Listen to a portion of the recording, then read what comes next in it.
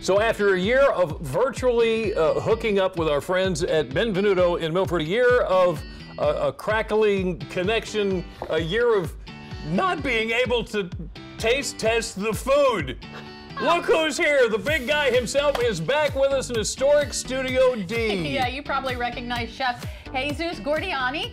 And uh, first of all, welcome Yeah, back. thank you. It's Thank you so, so much nice for to see me. you in person. I'm excited to be here. Thank you. yeah, so what are we making today? So today, uh, actually, was uh, requested by Jimmy, right? One of his favorite dishes at the restaurant is the uh, cioppino. Oh, okay. So uh, he said, "Hey, can you show us how to make it?" Right? And I said, You, you didn't have to tell the whole story there. I, I apologize. So Fir- what- what- so first what- time back. What goes into it? What goes into it? So, so traditionally, a cioppino is going to consist of some shellfish, uh, you know, clams, mussels, shrimp, uh, halibut. Right. All right. We do a little twist down here, so we do add some of our uh, snow crab tars, and we are using some local rockfish as well. Awesome. Um, you know, to uh, to enhance the dish.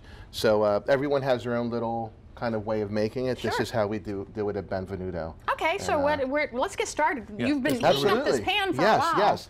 So our pan should be hot, nice and hot. All right. So we're going to start with a little bit of uh, extra virgin olive oil. All right. And the first thing that we add is our clams. Okay. All right. And uh, Can I this is going to sure, and it's going to. Why is that you know, first thing? So, so the clams typically have the longest cook time.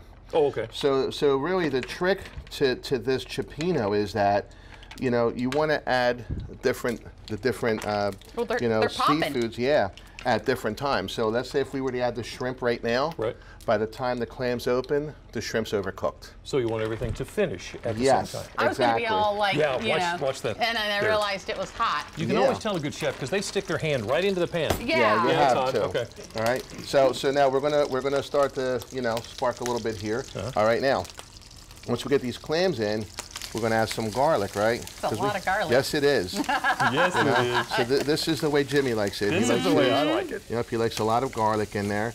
And believe me, it cooks down. It just really helps to flavor that sauce. Right. So what we do is, you know, we're just going to kind of get these guys going in here and see how it kind of settles down a little bit. You bit. see him just grab the pan?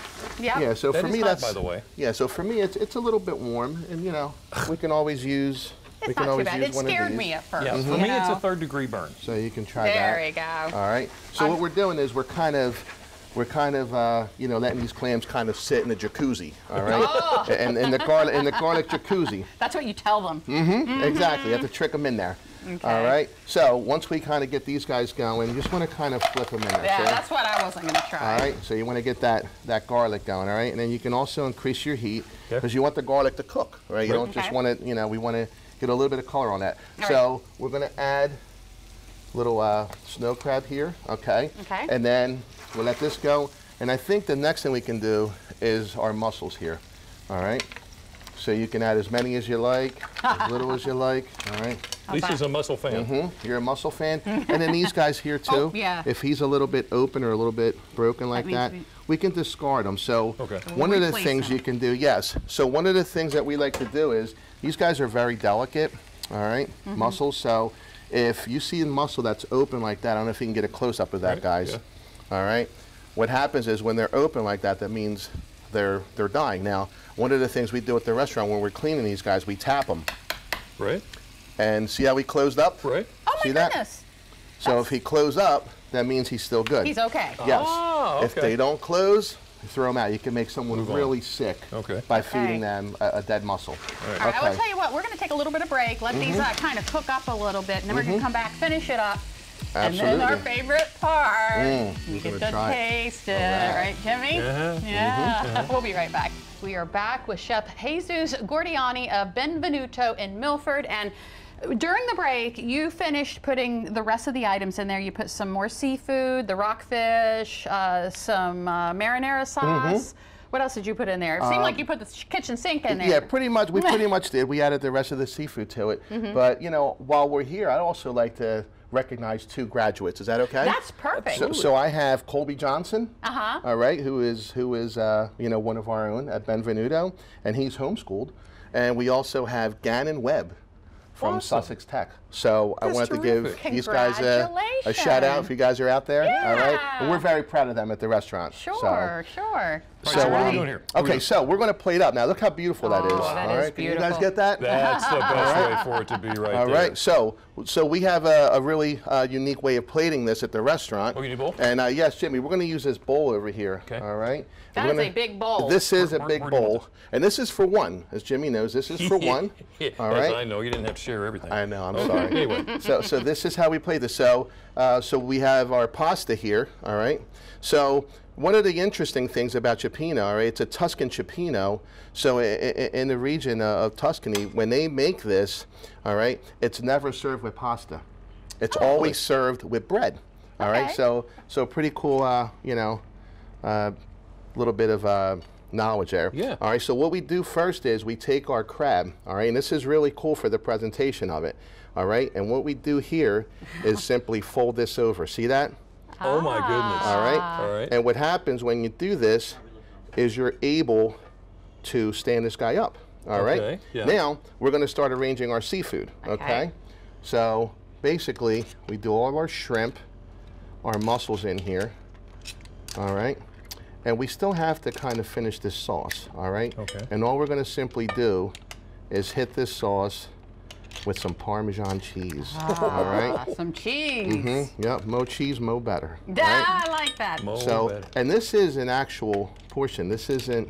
really? You This know, is what you turn is- out- This is what we turn goodness. out in this bowl at Benvenuto. Okay. Incredible. So then what we simply do is we put this back on. Okay. All right. We mount this with a little bit of cheese, and this is going to help to uh, thicken this sauce. All right. Mm. And no one gets left in the pool, right? So And- we have this little shrimp here. Lisa says as much cheese as you want. Yeah, Yes. you can She's put that whole thing in there. Yes, and if you just give this a little stir, say it thickens the sauce a Thickens it little bit. and then you- All right, and then all this, look at that, Oh, Oh, goes over. Ooh, look at that. All right. bonus. that is perfect. Now, before we send this out, obviously, Jimmy, we're going to clean this plate up a little bit. Just a clean little swipe like that. See that? because to see it, Mm-hmm. And look at the presentation it makes, right? that's gorgeous. So then what we'll do is, to finish this guy off, we will simply add some lemon here. Right? All right, because lemon makes everything better. Okay. And then we have some beautiful microgreens. It's going to add some color to Yeah, it. some local Yeah. microgreens as well. Yeah, that makes it even better. See? And this is, Is that- our Tuscan Cioppino. How awesome is that? Jimmy, we've been waiting Can we? for Oh, my months, goodness. Can- Can, years. can I safely show this to the camera? Oh, without messing absolutely. anything up? Yeah. Isn't yeah. that beautiful? Yeah. So how long does it take somebody to eat this? Because I could, I'm, I'm thinking 30 seconds or so. Um, you know, a lot of a lot of guys and gals tap out. you know? Really? Yeah. Well, I can see Yeah, that because you, they- got a- they- you got a bunch going on here. Yes, yes. Come, come, please come in here, get in with us. Yeah, you, we got work for you. Oh This my is goodness. I'm grabbing this shrimp right here. There it you sits go. on top. Mm-hmm. And I'm gonna try a little bit of You got this the fish. rockfish? Mm-hmm. Yeah. Yeah, I'm, I'm like Lisa. I'm going with the shrimp. This is, Chef, I got to tell you, thank you so much for mm. joining us mm. today on our first day back. It's wonderful having you in the kitchen of Historic Studio D. Look at this with her. Second bite. Come back mm, soon, please. Mm-hmm. Mm-hmm. Mm-hmm.